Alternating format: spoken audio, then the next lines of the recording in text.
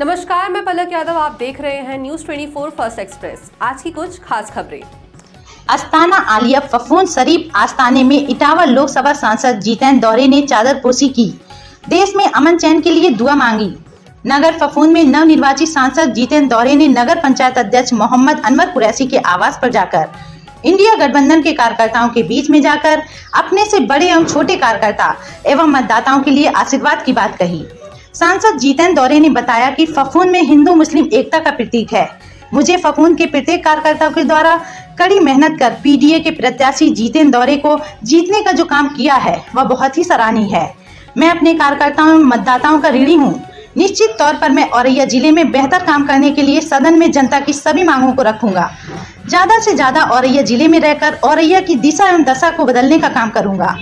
पूर्व में रहे समाजवादी पार्टी में मंत्री राम बाबू यादव, बाबा राम नरेश यादव, पूर्व मंत्री मोहम्मद इरशाद कुरैसी नगर पंचायत अध्यक्ष मोहम्मद अनवर कुरैसी दिव्यापुर विधायक के पुत्र पुष्पेंद्र उर्फ़ रिंकू यादव वर्तना भागनगर ब्लॉक अध्यक्ष रत्नी धीरेन्द्र दौरे पूर्व नगर अध्यक्ष सत्तर कुरैसी वर्तमान नगर अध्यक्ष चिजाउद्दीन उर्फ़ मुन्ना, मोहम्मद मंगेश सलीम मेव कृपा शंकर शुक्ला, अवनीश कुमार त्रिपाठी, उर्फ़ अन्नी, रेणु गुप्ता सुरेश गुप्ता उर्फ़ अद्दा बाबा, मुर्तजा कुरैसी, मोहम्मद बिलाल आदि सैकड़ों कार्यकर्ता स्वागत समारोह में उपस्थित रहे।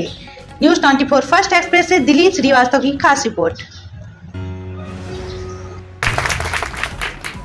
आप लोगों ने संविधान की रक्षा के लिए जो वोट दिया, आप लोगों ने लोकतंत्र बचाने के लिए जो वोट दिया, इसलिए आप लोगों का बहुत तहे दिल से मैं स्वागत अभिनंदन करता हूँ